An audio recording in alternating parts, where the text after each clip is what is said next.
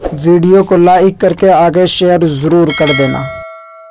गाना पढ़ के शौहर घर आया। बीवी को साथ लेकर, दस्तरखान लेकर के बैठा। तवज्जो करना। दस्तरखान लेकर के बैठा। उतने में बाहर से आवाज़ आई, ईद का दिन है, कोई फकीर को खिलाने वाला। जैसे ही सदा आई, आवाज़ आई। ईद का दिन था। उसने कहा, यार, क्या लोग हैं? ईद के दिन भी चले आते हैं भीख मांगने के लिए और अपने नौकरों से कहा, इसको धक्के मार के भगाओ ये जो आया है। कुरान कहता है, अगर कोई आपके पास भीख मांगने आए, उसको भीख नहीं दे सकते हो ना, अच्छी बात कह के उसको टाल दो। कोई भीख मांगने है ना, आप उसको ये कहो, भाई, बाबा, माफ़ करो, जाओ, नहीं दे सकते। अच्छी गुफ्त।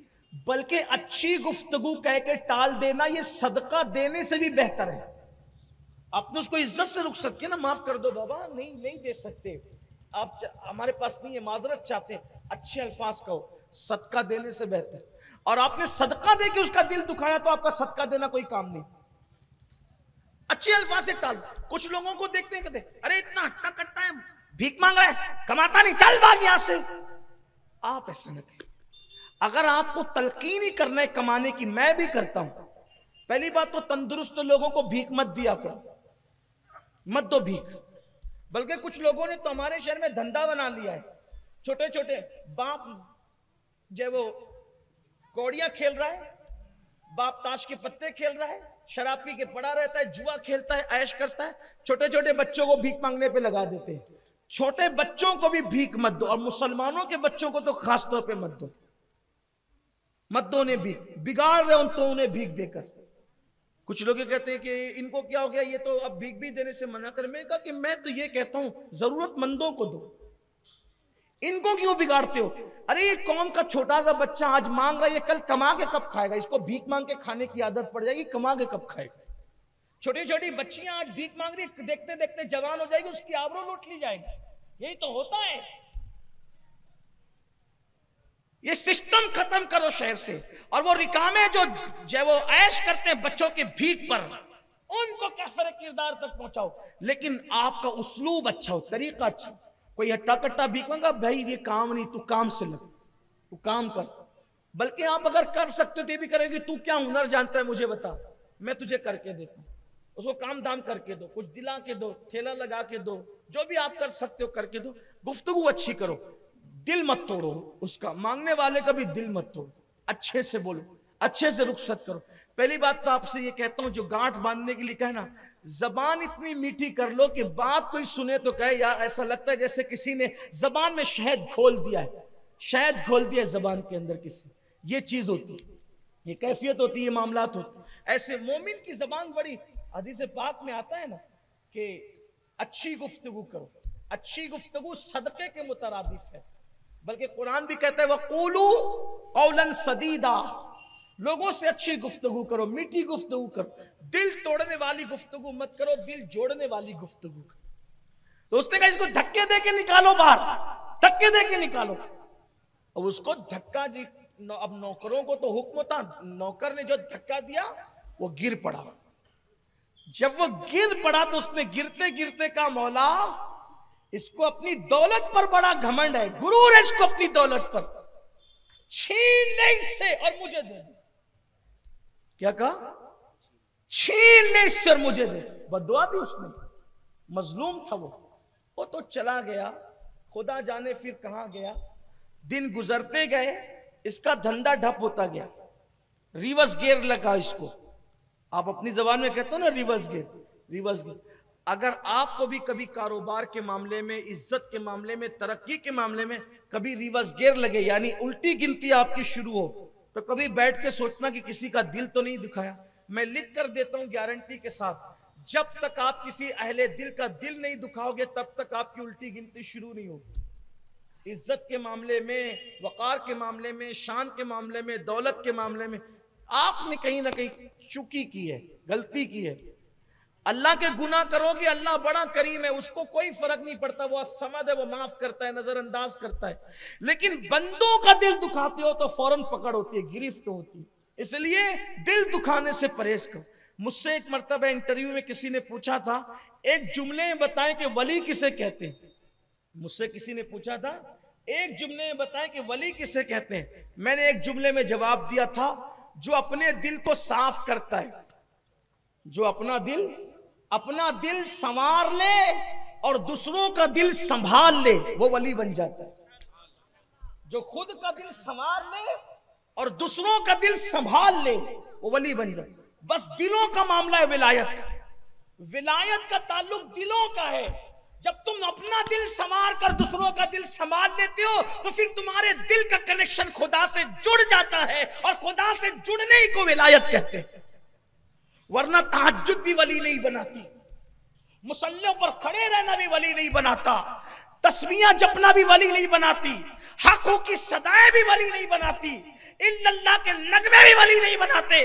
उस वक्त तक जब तक के दिल ना संवर जाए और लोगों का दिल ना संभालो। हज़रत आरिफ रूमी मौलाना रोम कहते हैं कि अल्लाह के तरफ़ का रास्ता, अल्लाह की राह का, अल्लाह के घर की तरफ़, वो तो घर और जमान मकान से पाक है, लेकिन उसकी तरफ़, खुदा की तरफ़ जो रास्ता जाता है, वो बंदों के दिल से होकर के जाता है। जो बंदों का दिल नहीं संभाल सकता, वो कभी अल्लाह तक नहीं पहुँच सकता। बंदों का दिल खुश करो। अल्लाह तक पहुँच जाओगे।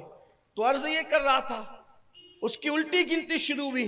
कारोबार ढप पड़ने लगा, ये हुआ, वो हुआ। धीरे धीरे दुकानें बंद हुई, कारोबार बंद हुआ, नौकर, चाकर, गुलाम, ये, वो सब चले गए। आखिरी में खाने को मोहताज हुआ।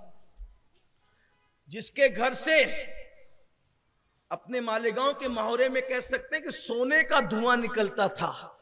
अब उसके घर में खाने को परेशानी है। उसकी बीवी ने कहा, मैं आपके साथ इस मुसीबत और मुश्किल में नहीं रह सकती, आप तो मुझे खिला भी नहीं सकते, मकान भी आपका बिक गया। मकान भी आपका बिक गया, मैं कहा रहूँगी मेरी इज़्ज़त पे हर्फ आएगा, आप मुझे तलाक दे दे। उसने तलाक दे दी, वो अपने मैके चली गई। ये चंद ही महीनों में पूरा खेल हो गया। एक बदुआ की वजह। कभी कभी बदुआ का असर बरसों बाद होता है, लेकिन होता ज़रूर। बदुआ कभी नहीं छोड़ेगी। जैसे बदुआ पीछे लगी रहती है आदमी। की एक शख्स बीमार पड़ा, बहुत तावीज किया, बहुत दबाबा किया, बहुत डॉक्टर वगैरह किया। वो उसने मुझसे, मेरे कुछ अहबाब, हमारे हाफिज मखसूस साहब से कहलवाया कि ज़रा सैयद साहब को कहो कि इस्तिखारा कर दें। तो मैंने उन्हीं के सामने इस्तिखारा किया तो मैंने पूछा तो पता चला, न इसको कोई बीमारी है, ना सहर है, ना जादू है, ना नज़र बद है। इसने किसी गरीब को मारा था, उसी की बदुआ से इसको बीमारी लगी। देखिए, मैंने उनको बताया भी, उन्होंने देखा भी, हाफिज साहब ने अपनी आँख से देखा। ये हालात ये मैं आपको डराने के लिए नहीं कह रहा हूँ, ये हकायक है। चंद महीनों के अंदर उसका मकान बिका नौकर चाकर, गुलाम, ये वो सब तबाह बर्बाद, बीवी भी खूबसूरत गई। अब ये बंदा मांगने लगा भीख। तवज्जे ये जो सेठ साहब थे, वो भीख मांगने लग गए अब। और जब भीख मांगने लगे, क्या हुआ पता है फिर? फिर ईद आई। वो ईद आई। उसी दरवाजे पर एक फकीर आया और कहता है, आज ईद का दिन है, कोई कुछ खिला सकता है? उसी मकान में, जो मकान कल तक उस किसी और का था, आज किसी और का है। उसी मकान में दोनों मियाँ बीवी बैठकर दस्तरखान सजा रहे थे खाना खाने के लिए ईद के दिन। जैसे आवाज़ आई, है कोई फकीर को खिलाने वाला?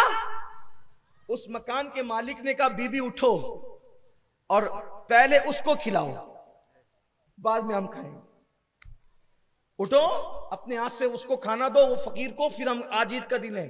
जैसे ही खाना लेकर के दरवाजे पे गई, चीख मारी, खाना हाथ से गिरा, बेहोश होकर ज़मीन पे गिर पड़ी। पता नहीं उस भिकारी के चेहरे में क्या था कि ये मालिक मकान की बीवी बेहोश होके गिर पड़ी। पानी के छीटे दिए, होश में आई, शौहर ने पूछा, बीबी, मेरी जान, मेरी, मेरे घर की आबरू, मेरे घर की मलका, क्या हुआ? क्यों परेशान हो गई, क्यों बेहोश हो गई? तकलीफ़ क्या है तुम्हें? उस फकीर के चेहरे में क्या देखा? वो जो फकीर था ना, भीख मांगने के लिए, ये मकान उसी का था पिछले साल ईद के दिन। और उस वक्त में उसके निकाह में थी, वो मेरा शोहर था। पिछले साल ईद की बात है, मकान ये उसी का था, वो मेरा शोहर था, बहुत मालदार था, बहुत अल्लाह ने दौलत से नवाजा था। पिछले साल ईद पर इसी वक्त हम खाना खाने बैठे थे, एक फकीर आया था भीख मांगने के लिए, और वो भीख मांगा तो इसने कहा, धक्के दे के निकाल दो, जैसे ही नौकरों ने धक्का दिया, वो गिर गया। गिरते गिरते उसने कहा, अल्लाह इसने मुझ पर जुल्म किया है, इसकी दौलत छीन कर मुझे दे। फिर पता नहीं वो फकीर कहाँ चला गया। उसने कहा कि तुम्हें बता दूँ, वो फकीर मैं ही था। उस दिन के बाद से अल्लाह ने मुझे तरक्की दी और आज अल्लाह ने मुझे इस मकाम पे पहुँचा दिया। तो देखो बदुआ यहाँ तक पहुंचाती। इसलिए अगर तरक्की और खुशियाँ चाहते हो, दुआ लो, घमंड छोड़ दो तकबर छोड़ दो। ताकत दी अल्लाह ने, कुवत दी, दौलत दी, इज़्ज़त दी, शोहरत दी। इंसान बन के रहो इंसान। फिर मत बनो। नमरूद मत बनो, घमंड मत करो, शैतान मत बनो। शैतान को उसके तकबर ने बिगाड़ा, इंसान बनो। अल्लाह के रसूल सलाम से सहाबा ने कहा, या रसूल अल्लाह लोग मुलाकात के लिए आते हैं। हम आपके लिए कोई ऊँचा ओटा बना देते हैं। आप उस ओटे में बैठा करें ताकि आने वाला आती आपको पहचान ले कि आप अल्लाह के रसूल है। हजूर सलाम ने फरमाया, मैं इंसान हूँ, बंदा हूँ, बंदा बन करके रहना पसंद करता हूँ। मुझे लोगों में मुमताज़ बन के रहना पसंद नहीं है। ये सीना तान के चलना, ये अकड़ के चलना, ये किसी को मार देना, किसी को पीट देना, किसी से घमंड करना, ये सब चीज़ें छोड़ो, इससे तोबा करो। अल्लाह की बारगाह में गिड़गिड़ाओ माफ़ी मांगो, अपनी ज़िंदगी को बदलो। अल्लाह हम सब के हाल पर रहम फरमाए। गुफ्तु के दरमियान कोई गलती हो तो अल्लाह माफ़ फरमाए।